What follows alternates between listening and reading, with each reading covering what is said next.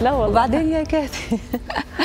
طبعا إحنا رح نرجع لموضوع حلقتنا أعزائي المشاهدين ورح نحكي عن موضوع الطاقة السلبية الشكوى التذمر كيف بتأثر على صحتنا النفسية كيف الشخص بسحب طاقتنا وهو ما بيعرف إنه مشاركته لمشاكله أو تذمره الدائم بيأثر على صحة الصحة النفسية لكل الناس اللي حواليه وخصوصا إنه إحنا اليوم بظرف استثنائي وكلنا مضغوطين. للحديث أكثر رح يكون معنا ضيفتنا مربيل ميبل حمال آه أنا آسفة. ما عرفت أقرأ الاسم. لا عادي يعني حمال عشان نحكي أكثر. عنه صباح الخير. صباح الخير.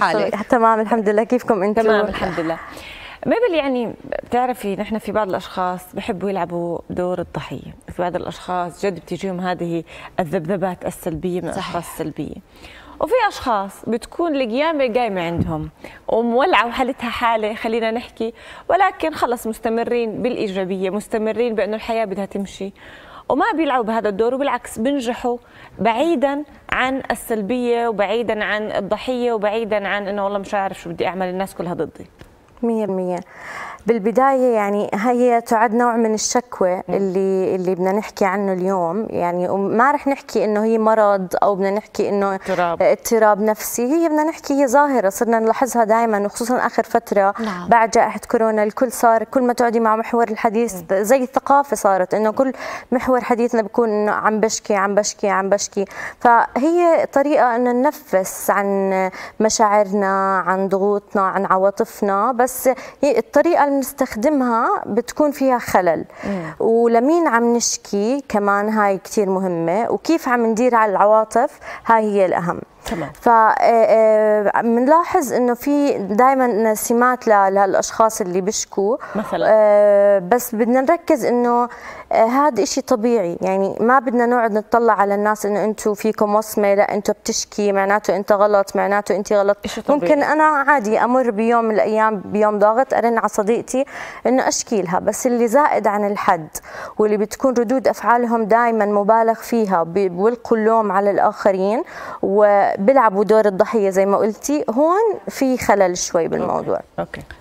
طيب شو الأسباب؟ هلا يعني واحد من أهم الأسباب هي التنشئة الأسرية. نعم. رح نحكيها بنوعين. أول نوع التنشئة الأسرية اللي كانت قامعه أو للتعبير عن المشاعر. يعني البنت لما كانت تلعب على البسكليت وقعت إجت أمها صارت تبكي وتطبطب عليها لا يا ماما لا تبكي لا تزعلي. زي زي بتعزز إنه عبري عن مشاعرك. أما الولد لما وقع ابوه اجى صار يحكي له لا ما تبكي أنت زلمة. زي كأنك بتحكي له صح. أنت مش إنسان ممنوع تعبر عن مشاعرك. رجل آلي. بالضبط. فهون عنا لما كبر هذا آه، الصغير وصار بده يعبر عن مشاعره وهو ما بيعرف يعبر لقى حدا عنده الاحتواء والأمان والشخص المناسب اللي يساعده يطلع هاي المشاعر. فصار يمكن يصير في عنده إفراط في المبالغة آه، بال- بالتعبير فيعتبر نوع من الشكوى. النوع الثاني اللي كانوا ببيئة كلها من النوع اللي الأم دائما بتشكي الأب دائما بيشكي العم دائما يعني هيك البيئة اللي حواليه فتعلم بالنمذجة. أوكي. نعم. تمام. ثاني شيء التنفيس أو التفريغ الانفعالي. في ناس كثير بيستخدموا ال- الشكوى يعني دائما كل ما يقعدوا مع حدا عشان يضلوا يشكوا يشكوا يشكوا. هدول الناس بنلاقي عندهم مشكلة إنه تعرضوا لصدمات عاطفية لإنخذال لإحباط بحياتهم. آه جايين بهذا الموضوع. وبيكونوا أهم شغلة إنه هم عم بدوروا على مشاعر معينة مفتقدينها. أهمها هي جذب الاهتمام سواء الاحتواء. كل واحد له نعم. فردية يعني. بيختلف بالمشاعر اللي بطلبها فإذا أنا لقيت بالإنسان اللي مقابلي آه هاي المشاعر عم بيعطيني إياها رح تستمر الدائرة معي. صحيح بس ما هم طريقين مختلفين. اليوم أنا لما بدي أشارك مشكلتي مع زميلتي أو مع صديقتي أو مع والدتي لإيجاد الحلول أو أو ممكن أقترح حل وحدا يحكي لي آه الحل صحيح أو لا. لكن إحنا اليوم نحكي عن التذمر والشكوى المستمرة ورفض الإنسان للواقع. قد إيه بيستهلك من حاله ومن طاقته من وقته بإنه طول الوقت عم بشكي طول الوقت عم بشكي وخصوصا اليوم في كتب آه، خطيرة آه، اللي هي لا تغضب ولا تحزن هي عبارة عن كبت المشاعر. مية حلو الانسان بالمية. ينفس بس اليوم الشكوى والتذمر الدائم اللي دائما على لسانه آه ليه أنا ربنا عامل معي هيك؟ ليه أنا بس بصير معي هيك؟ آه ليه أنا مش موفق بشغلي؟ ليه أنا اليوم غلطت بالامتحان؟ ليه أنا ما جبت على؟ إحنا بنحكي عن هذا النوع بالذات. بالذات هذا النوع آه، آه، هم من ما بدوروا على حل المشكلة. هم من بيجوا بتذمروا لك وبشكوا لك هدفا للتعاطف فقط. يعني لا تعتقدي ولا للحظه إنه هو عم. يعني بشكي لك عشان بالآخر تحكي له والله في حل واحد اثنين ثلاثة لا هو ما بده هذا الحل هو بس بده إياك تسمعيه. هو بس بده هذا الاهتمام بده هذا العطف والحنان والاحتواء والتعاطف. ما بدهم الحلول وهدول بنسميهم إحنا المشتكيين لا يريدون المساعدة لأنه في أنواع للمشتكيين. فبس نكمل بالأسباب. كمان في من أهم الأسباب الغيرة أو المقارنة بين شخص وشخص. بتلاقي في ناس كثير يصيروا يحكوا آه، فلانة عندها وأنا ما عندي فلانة عنده بصير شو؟ بصير يقارنوا حالهم بالآخرين وهو عدم تقبل للواقع. وعدم رضا. وكمان بنفوت بظاهرة إحنا يمكن منتشرة شوي بمجتمعنا الحسد. بنصير نحكي آه إحنا محسودين. عشان هيك عم بيصير معنا ونضل نلقي اللوم على الآخرين. وهي بيكون ميكانيزمات الدفاع النفسي هون بتكون عنا عالية كثير فبنصير دائما نلوم الآخرين نلقي الذنب عليهم إنه هم من السبب هم من السبب هم من السبب. عندنا شيء كثير مهم كمان الإسقاط اللي هي بيكون عندنا سمات إحنا مش مقبولة اجتماعيا. بنصير نسقطها على الآخرين.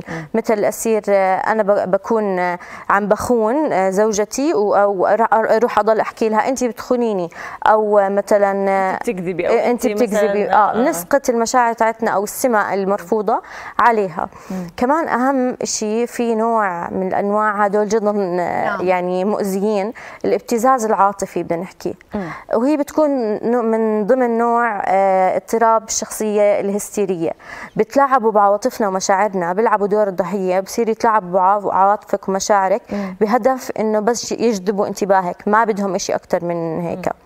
وهنا بنشوف إنه شو الشخصيات الاكثر ميولا إنها تشكي. زي آه، حكينا الشخصية الهستيرية اللي هلا حكينا عنها. عن اللي عندهم لو سيلف استيم نظرة دونية للذات كمان وقله ثقه بالنفس. بتلاقي دائما بقارنوا حالهم بالآخرين. صح. واللي ما عندهم صلابة نفسية قوية بتلاقي ما عندهم مرونة بالتفكير. بتلاقي دائما بيصيروا ينظروا للدنيا النظره السوداويه وما في حلول. وخصوصا الشخصيات السلبية العدائية اللي بتنظر للدنيا إنه ما في حل والقاء اللوم على الآخرين ومقارنة نفسي وأنا ما بقدر أقدر وخلص وصلت لدرجة الاستسلام وما عندي أي شيء أعمله وخلص شو بدي أعمل وشوفوا الوضع والوضع الاقتصادي مش منيح حرام عليك. آه بالضبط هيك بيكون هيك بتكون الدائرة. هيك ردة فعلي. فهيك الدائرة بتكون. الدائرة بتبلش إنه أنا مثلا ببلش كاثي كيف حالك اليوم؟ بدي بدي أحكي لك عن شغلة صارت معي. فكاثي بتطلع علي بتبلش تسمعني وبتكون هيك مصغيه فاعلة. فبعدين مبتسمة بتسمعني للنهاية. بالضبط. وال eye contact بتبلش تسمعني للنهاية. بعدين بتحكي لي النصيحة. أنا ثاني يوم برجع بعيد نفس نعم. الدوار. عرفتوا؟ طب سريعا لأنه ما ضل معنا دقيقة ونص بدي استغلك يعني اسوء آه، هلا حكينا عن الشخصية اللي دائما بتتشكون yes طب هلا الشخصية الإيجابية يعني بيكون مثلا زوجك أو yes. زوجتك آه حدا معك زميل بالشغل. طب هلا أنت عم تعطي إيجابية ودائما يعني مبتسمة والحياة وردية وهيك. بس بتوصلي لمرحلة في يوم من الأيام أنت رح تخلص هذه الطاقة yes. في يوم من الأيام رح تصيري تشوفي إنه طب أنا عم بجاهد لحالي ما حدا معي. آه، في ناس محظوظين يكون عندهم أم أخ صديق يشكوا لهم ممكن يردوا يشحنوا لهم هذه الطاقة يردوا يرجعوا. بس مرات بيكون أحد أفراد الأسرة. طب 100% أحد الزوجين وهي هاي المشكلة 100% هون بده يعمل؟ بدنا نعرف كثير كثير منيح إنه أول إشي بدك تكون حذر بدك تعرف إنه بيرك أنت عم تعطي منه بتعطي منه بتعطي منه رح يفضى. صح. فإذا ما أخذ بالمقابل ولا حتى شكرا لو شيء معنوي ما رح يرجع صح. ينشحن بيرك. فأنت عم تستنزف عاطفيا نعم. وجسديا ورح توصل للاحتراق النفسي. نصيحتي كونوا حذرة عبري عن مشاعرك. لما بده يجي يحكي لك تعلمي مهارة تحكي. لا أهم مهارة. خلص أنا اليوم مش قادرة أسمع. اليوم أنا دوري أحكي. حلو. ما ترجعي تكرري النصيحة اللي انت بتكرريها دائما أو ترجعي تعملي الدائرة اللي حكينا عنها لأنك هيك عم بتعززي السلوك عنده إنه يضل بالشكوى المستمرة. صحيح. وصغري الدائرة. إذا كان هدول من أفراد أسرتك حاولي إنك انت مثلا توجهيهم لحدا مختص إذا ما قدرتي تسيطري على الوضع ونفسيا إلك حاولي إنك تفرغي آه، عن العواطف والمشاعر المكبوتة والغضب اللي عم بيصير عندك بطرق صحية سواء آه، بنحكي تشتيت أو الرياضة أو إنك تعبري بصوت عالي أو آه، بأي نوع. مراجعة أخصائي نفسي مش شرط تكون أنت اللي عندك المشكلة مرات أنت بتفرغ الأخصائي من حدا ثاني حواليك هذا كمان بيساعدك ليحافظ على صحتك النفسية. طبعا دائما بنحكي زي ما بنهتم بأكلنا وشربنا نفسيتنا حتى نفسيتنا بحاجة. طبعا. 100% ما بالحمال أنا بس بدي أكد على الجمهور معلومة آه، بختصر فيها دائما كل المشاكل وموضوع التدمر والسلبية. المشكلة اللي ما إلها حل هي مو مشكلة فما تعطيها من وقتك. والمشكلة اللي إلها حل مشكلة وانحلت مية خلصنا. القصة. هاي النصيحة أنا دائما بنصحها للناس كلها اللي حوالي عشان ما يستنفذوا طاقاتهم. في شخصية كثير مهمة لازم نحكي عنها في آخر لقائنا قبل ما نودعك. الشخصية اللي بتنتقد الناس وبتحكي عن الشخص سلبي. هي الشخصية هي صاحبه التذمر والسلبية. فدا فبنشكرك مايبل على كل المعلومات. عفواً، الله وسهلا فيكم. بحلقات قادمة. وإن شاء الله كل المشاهدين يكونوا استفادوا من هاي الفقرة.